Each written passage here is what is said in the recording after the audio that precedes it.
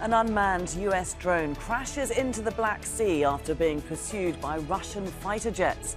It's the most serious incident involving the two superpowers directly since the start of the Ukraine war. Is it just a one off or a more serious escalation? This is Inside Story.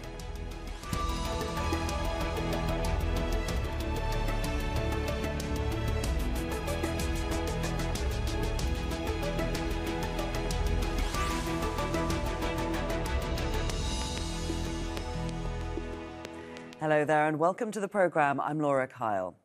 Russia and the US are presenting different versions of how a US surveillance drone ended up in the Black Sea. It came down on Tuesday after being pursued by Russian fighter jets near the Russian annexed region of Crimea. The US Defense Department has released edited video taken by the MQ 9 Reaper drone. It shows a Russian Su 17 fighter jet approaching and dumping fuel as it passes. The US says the unmanned drone's propeller was struck, forcing it down, and that it had been operating in international airspace. The Russian defense spokesman had a different version of what happened. Утром 14 марта текущего года on the morning of March 14, 2023, Russian Air Force control systems detected an American MQ 9 drone flying over the Black Sea near the Crimean Peninsula towards the Russian state border. The unmanned aircraft was flying with its transponders turned off and violated temporary restrictions to airspace usage set for the special military operation. Those restrictions were passed to all international airspace users and published in accordance with all norms. Fighter jets from the on-duty Air Defense Force were scrambled to identify the intruder. As a result of sharp maneuvering at around 9:30 Moscow time, the MQ-9 drone went into uncontrolled flight with a loss of altitude and collided with the surface of the water.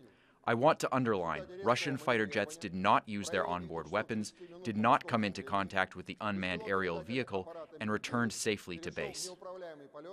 Well, close encounters between Russian and US military aircraft are not uncommon, but this is the first time it's happened during the Ukraine war. Both sides were in contact immediately afterwards, seemingly to avoid an escalation. But publicly, there's been little sign of reconciliation. On Tuesday, Russian aircraft again engaged in dangerous and reckless and unprofessional behavior in the international airspace over the Black Sea. Two Russian jets dumped fuel on an unmanned U.S. MQ 9 aircraft conducting routine operations in international airspace. And one Russian jet struck our M- MQ 9 aircraft, resulting in a crash. And this hazardous episode is a part is part of a pattern of aggressive, risk, risky, and unsafe actions by Russian pilots in international airspace. You have heard representatives of the Pentagon and the Joint Chiefs of Staff say the United States will continue to fly wherever it pleases in accordance with international law. But if you follow this logic, then the space around the United States has the same status as the space over the Black Sea.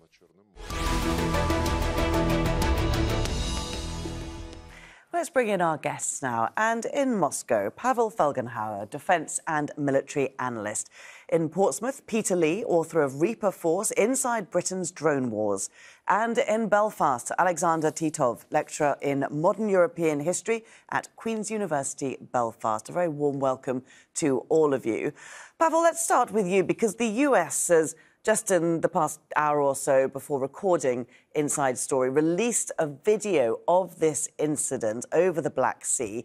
The US is saying it proves their version of the events. What do you make of it?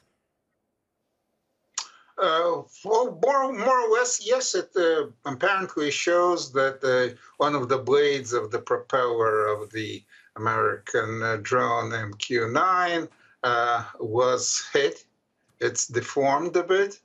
And that more or less shows, and that the Russian jets were flying very close, kind of skidding the uh, drone. Of course, there's a lot, there's a difference in speed.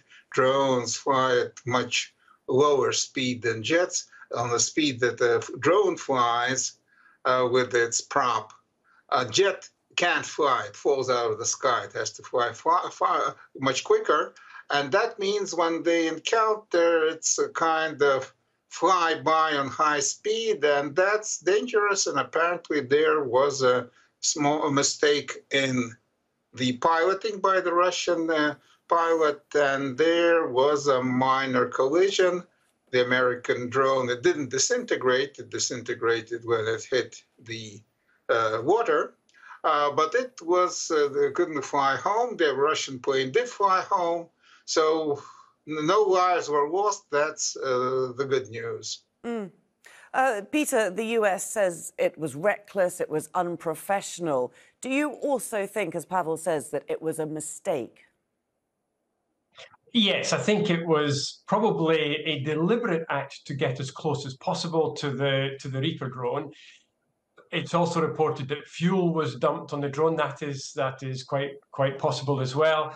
And perhaps the Russian pilots thought if they flew close enough to the to the Reaper, that the the backwash, the jet wash from the engine, would be enough to throw the the Reaper into uh, some kind of uh, maneuver, which would either down it or at least disturb its its trajectory. So I think there was probably a miscalculation in going so close that eventually the, the Russian aircraft hit the propeller. And it, the propellers are very fragile at that speed. They're easy to damage. A large bird would damage the propeller and possibly destroy it. So it does not need a great amount of contact in order to render the, the propeller uh, dysfunctional. Alex, if, if indeed there was a minor collision there between the jet and the drone, what impact might that have had on the jet? Uh, well, difficult to say. Obviously, the jet has returned to the base, and the, there's been no crash. Uh, from what I've read, you know, it's all very touch and go. A uh, few uh, uh, centimeters either, way, it you know could have damaged itself more. The jet could have damaged itself more than it damaged the drone. So yeah, very high risk for both for the pilot, and of course um, there was a pilot in Russia and jet unlike in the American one. So yeah, this seems to be very kind of high risk um, maneuver, probably not totally intended. But I think what we can clearly say is that there was uh, intention to intercept that drone to give a message to be kind of be, be quite aggressive around it, not necessarily to uh, bring it down, but certainly to um, uh, to interfere with its uh, path um, of, uh, of, flight. So uh, I guess for the Russians, uh, as long as the, their own plane is not damaged or anything like that, that was a bonus that the whole thing came down and it became kind of quite a big event, mm. you know, mm. between Russia and the United States. So and, and the Russians, because they wanted to send a message, they certainly did that. Yeah, they certainly did. I think it's important to mention we haven't so far that this it wasn't just two flybys that we saw. This was going on for between 30 to 40 minutes, according to the US. It seems like quite a deliberate action. Would you agree, Peter? Yes, these kind of Russian actions with fast jet and other aircraft have gone on for generations. It's a Cold War tactic. Mm. So, right up to the present day, and in fact, this last day or so near Estonia, Russia, Russian forces use uh, use aircraft to probe um, the, the, the airspace of other countries, either violating the airspace or flying very close to the airspace to see how long it will take for a response to test what reaction will happen. So this is part of an ongoing culture that the, that the Russian Air Force has of testing an opponents and adversaries um, speed of response, level of response, willingness to respond to respond. So all of these factors will come into into consideration, and it, it is a bonus that the Reaper went down. But for the Russian aircraft itself, the underside of a fast jet is actually very strong. That's where you have to have the, the support for the landing gear. If you're hanging weapons underneath, it has to be incredibly strong. So I would expect structurally there, there would be a little damage and perhaps a little bit of surface damage to the underside of the Russian aircraft. Okay. Pavel, what was the message, do you think, that Russia was trying to send to the US through this incident?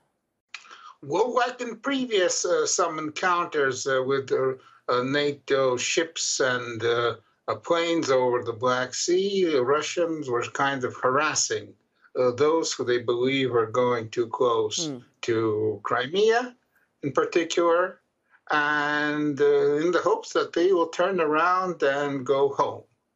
Russia does not want their uh, American, and there's also, of course, British and French uh, recon planes, also piloted planes, big ones like the Poseidon, uh, flying in the, uh, over those waters, and so they don't want them there, and they want to send a message that they could be harassed and that the, this would put pressure on the pilots and on the command to turn around and go home. Mm. That's what they apparently were trying to do. That's why for a long time they were overflying the uh, intercepted uh, drone to, pre- uh, to pressurize the pilot, who was piloting it, of course, uh, uh, remotely, to turn around and go home.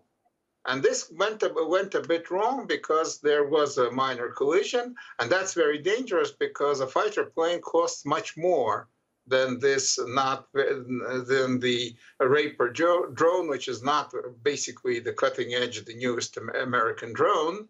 And of course, there's a pilot on mm. board, and training a pilot takes well a decade. A good pilot. Mm. I mean, and they were in risk and they could have been lost, and that would have been uh, well. So I don't believe that this was a deliberate ramming. Okay. This was a mistake, an accident. Okay, Alex, I can see you wanted to jump in there. Well, I think, yeah, I think there's, you, you need to uh, also bear in mind that the statement by the, the, Russian Ministry of Defense saying that the, the drone was flying in uh, what it declared to be an exclusive zone uh, special uh, exclusive for these special military operations. So basically, what they're trying to do. So there's a international. It's it's very kind of conf, uh, confusing and also potentially dangerous clash because, of course, uh, Russia claims Crimea as its own. It's not recognized by the United States. So technically, if, you know. United States go by the letter of law, it can fly, uh, fly over Crimea because it's Ukrainian territory as far as the Americans are concerned. But they're not doing that. So they're trying to kind of completely uh, uh, uh, international um, waters, but at the same time, Russians sort of trying to ex- expand the exclusion zone uh, and sending a message to United, the uh, to United States and their allies that uh, that um, they are kind of serious about um, maintaining it. So I would imagine that apart from actually what happened, you know, you really have this issue of uh, further potential for escalation between Russia and United States. This is the, why it's important is because it's the first time there's a direct clash between American um, military and the Russian military, even if it wasn't uh, uh, manned. So, uh, so it's just a reminder that uh, this is a very precarious circumstances, and there is a potential for further escalation if both sides um, uh, make um, a decision to, to go for it. Mm. So Pavel, far, just a second, I was see that Pavel was, was, was disagreeing with, with something there. So let me just bring him in and to bring your point forward. Uh, well, it was not really a clash because weapons systems were not used by any side. So it's not yet a clash. It's an accident. A clash Peter? could happen. Yes, this was a dry run. Okay. We, have um, got the, uh, we've got the two sides here. We've got that it's an accident and that it was a crash. Peter, what, what's your thought? No, I mean this was not a, I, I a clash to... between, because was, weapons were not used. Right. Uh, okay. Uh, but weapons could be used. There could be American or British uh, recon planes flying in the same area with fighter escort. And that actually had, has already happened, and we could see a clash between fighters of both sides. Well, it's an indication of, of, what that, can happen, isn't it? What can happen uh, in the future? Absolutely. Okay, Peter in any of these confrontations, there there are interests um, happening at multiple levels at the same time. I actually think the the more interesting and possibly the most important part of this is not the physical. Um, contact between two aircraft and the downing of the, the Reaper drone. I think possibly the most interesting and relevant aspect is the clash between the way that the US is interpreting international law mm. and the way Russia is interpreting and trying to apply international law. Russia is declaring a, an area of special military operations, but but that does not hold um, legal strength in the same way as the historical right to to fly in international um, airspace above international waters, so within 12 nautical miles of the coast uh, of, of, a, of a sovereign state. So we see Russia trying to exert this right to declare an area of special interest, and the United States making a, a concerted effort to deny that right and to keep on exerting the, the established norms in international waters to fly over the waters, to sail ships in the waters. And, and it's the same kind of work that the, the United States is doing in the Far East, where, where it is denying. Um, China's claim to, to parts of the South China Sea. So the United States as well as its its um, operations and its interest in the Ukraine-Russia war, it, it also has a global interest in keeping open the waters of the mm. world for for ships, for civilian ships, for military ships to use as long as they're in international waters. Which suggests, Alex, that we might see the US continue to fly drones in this area, particularly to make the point that it does not recognize Crimea as Russian. Oh, they certainly will keep flying drones, mm. and and with the with the United States um, defense budget, this is it, it, can be treated as a disposable item, mm. uh, and and I think for the US to be able to produce the the video footage from from the drone itself, that is a it's a, a, bit of a psychological and political and operational uh, coup for the United States. They can actually demonstrate that the, the, the, the, Russian aircraft was certainly flying in an unsafe unsafe manner for the pilot, never mind the drone, and that Russia was was in the United States' eyes, breaching international law. I think they were breaching international law, mm. uh, but that is obviously going to be disputed um, by, by the, the, the Russian leadership. Okay, Alex. Well, I think uh, there is obviously um, that dimension, uh, uh, freedom of navigation and whatnot. But you know, with this uh, drone flights, of course, they are gathering intelligence, which they're passing to Ukrainians, mm. so they can use against Russian forces. So there is a kind of quite substantial and important dimension. Russians been extremely annoyed and um, uh, worried about the amount of um, intelligence uh, gathered by drones like that, by the satellites and so forth, which is being uh, used by Ukraine to attack Russia in Crimea, including in Crimea. And uh, that's kind of full of discussions on, in Russian channels and so forth that, you know, every time there is a um, attack on the Russian um, bases in Crimea, there is a heightened activity of uh, surveillance drones by NATO, including America, Britain, and um, and others, flying around, um, uh, identifying targets and uh, looking for what uh, the the impact uh, was. So uh, there is kind of quite a substantial element on top of the all this general discussion of freedom of navigation, and it certainly is not not a comfortable position to be that you know you you want to keep going. Uh, uh, Russians want to send their message, Americans mm. want to send their message, mm. and at some point, you know, you have you keep escalating, and that's that's that's the um, uh, the path we uh, seem to be on uh, now uh, heading towards. Just one point, Pavel. If the tables were turned and the Russians, if when they fly near the United States, fly similar surveillance drones near the United States, would one expect to see a similar reaction? Uh, well, that's impossible because Russia doesn't have drones that can fly near the United States. Right.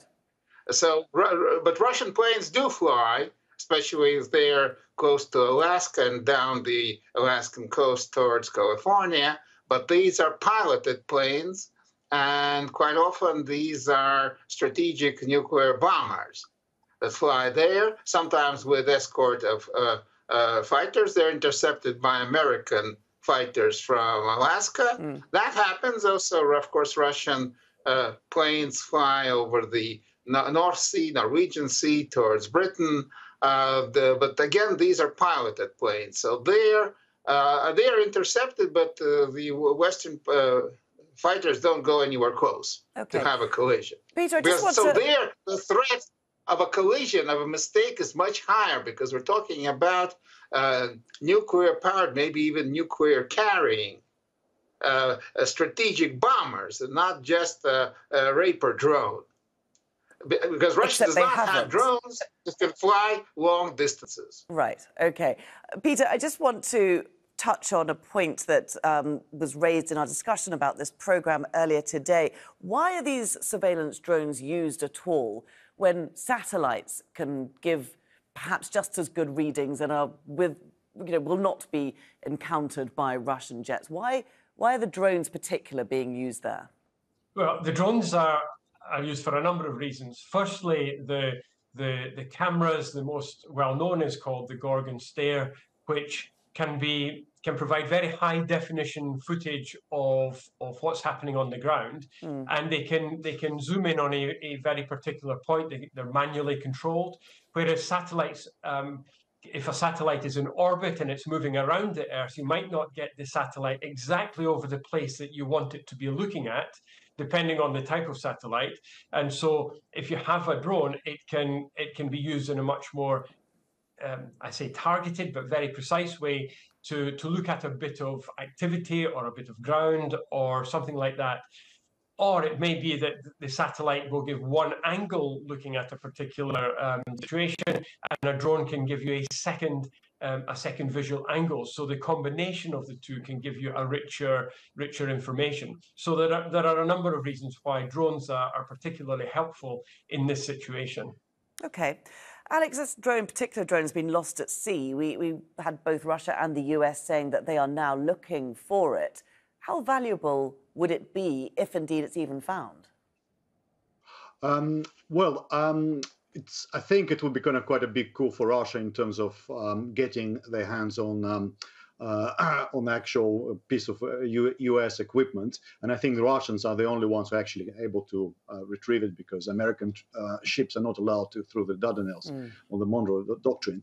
Um, but um, the uh, sorry, I just want to kind of uh, mention uh, we're talking about drones and satellites. We didn't mention the balloons, and of course, if you want hmm. to look at reaction, what Americans would feel like if the Russian just flying 20 nautical miles off New York, whatever. You know, look at the all the um, uh, you know, panic around the Chinese mm. uh, balloon which uh, flew over the United States. So yeah, it's all very kind of touchy. I mean, it's there's a lot of symbolism in all those things, uh, in terms, including into retrieval, uh, including into the um, you know areas of exclusion and so forth, uh, which either sides try to claim over themselves. So, um, but yeah, I mean, this is for, for, Russia. It's so so happened. It's a it's a it's a big um, big coup. And if they can get their hands on the actual uh, hardware from, from the bottom of the sea, which they s- claim now they have located where it fell, uh, fell, fell uh, down, uh, then it will be an extra extra bonus on top of the, or everything else that's happened. Mm. Pavel, the Kremlin spokesman has said that this has caused relations between the US and Russia to hit, quote, their lowest point. That's quite a statement, isn't it, in a history of, of roller coaster, shall I say, emotions between the two sides. Do you agree with it? Well, the relations are very bad, and that's not news. I mean, that was said many times by the uh, Dmitry Peskov, the uh, Putin's uh, press spokesman and press secretary, and deputy chief of his administration. Uh, so this is not, things didn't get that much worse, but they, of course, didn't get better. There's been acrimonious exchanges. The good news is that there were, uh, yes, uh, there were talks, uh, telephone talks mm. between uh, defense ministers and between uh, the chief of general staff, uh, Valery Gerasimov, and the American chairman of Joint Chiefs. So that's the good news that there was high level contact to try to de escalate and not to kind of have such incidents in the future. And if uh, we'll have to see with how effective that de-escalation is going to be. So not that not all bad happened, some good happened too. Yeah. Uh, and gathering, of course, that drone, Russia would try, but not much. I think it would get. Uh, some of the uh, it, it, disintegrated when hitting the uh, sea uh, surface. Some floating pieces of the plastic uh, outer co- uh, cover of the drone may be floating around. Something can be found, but finding uh, from about two kilometers deep, and that's apparently where it went down, more than 100 kilometers off Crimea, well, that would need equipment that Russia has, but it doesn't maybe have it in the Black Sea. And bringing it mm. in, say, from the Barents Sea, well, uh, that's right now with the, again with the closed uh, Bosphorus is a bit of a problem. Peter, how provocative do you think this incident has been? I mean, it does seem that neither side is particularly interested in interested in escalating it at this stage. But now that the US has released this video, do you think that changes the tone somewhat? I think it will. I think that will be part of de-escalating because it, it's quite hard for the Russian ministry to continue to to state a position that is demonstrably wrong, you know, that, that is factually wrong. But also, I think the the heat and pressure of the war that's ongoing at the moment between Russia and Ukraine adds to the tension. But I think it's not anywhere near the lowest point mm. that, that Russia or the, or the former Soviet Union, as it was, has reached with the United States. Uh, memories are very short, but even looking back a few decades to Afghanistan in the, in the 1980s, when when the, the the Mujahideen at that time were being supplied by vast numbers of American shoulder held anti aircraft missiles, and they were shooting down hundreds and hundreds of, of Soviet Union aircraft and helicopters. So there have been tensions much more, um, much greater than we're seeing at the moment. It's just that the immediate problem is usually the one which people concentrate on. But actually, if you go back a bit further in history, and that's before you even get to the nuclear tension over mm. Cuba. So there, there are lots of examples in the past of, I think, much, much bigger tensions than now. I think bigger risks than now. But this is this is in, in an age of 24 hour scrolling news and and much more um, uh, much more footage is available. So I think the, the, the the context now is not as serious as as presented, and I think it will it will slowly quieten down over the mm. next few days. I think both sides want to do that, and then they'll probably ramp up some activities okay. elsewhere. Indeed, uh, Alex. The last word to you. Would you would you broadly agree with that? Do you think we're going to see more incidents like this that are going to flare up these tensions once again? Um, well, first of all, I think uh, this is quite dangerous, and I think it's more um, dangerous than, than Afghanistan because uh, the Americans are providing way more advanced, heavier weapons. Uh, there is a path to, uh, than they ever done before anywhere else against directly against Russians. You know, uh, the uh, the path towards further sending of heavy weapons, including tanks, you know, that's kind of was unimaginable in Afghanistan. Uh, and also, of course, you have uh, ability of those weapons to be used against what Russia sees its own territory, particularly Crimea, but not only. Uh, so I think there is a, path towards escalation is quite uh, much more serious than it's been in the past, apart perhaps from the Caribbean crisis.